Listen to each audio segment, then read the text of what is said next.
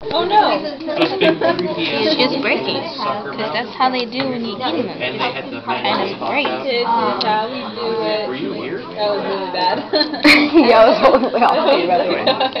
The last part One was of those big giant segment ones we did.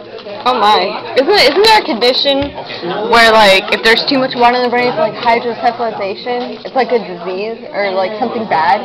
When you have too much water in the brain and your head's like swelled? No, Huh? mine popped open literally. Opening it all the way through the tail. Ew. This dude is not gonna butterfly. He's gonna actually rip. lobster. Man, this sucks. Yeah, so were we. I guess I'm better lucky for not ripping everything on the inside. That's why everybody is. Doesn't want a butterfly. The fact that the shell is. Butterfly dome. Yeah, lobster bisque so sad. These are really good popcorn. My shoe's coming off. and other meat. Oh no! It came off. Okay, you're the queen of randomness.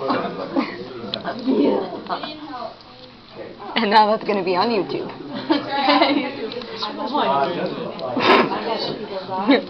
They're rare. Okay, trying to butterfly the shell open and not being very successful because it's just was ripping. I raise them on farm.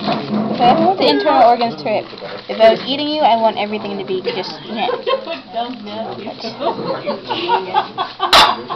What did you say?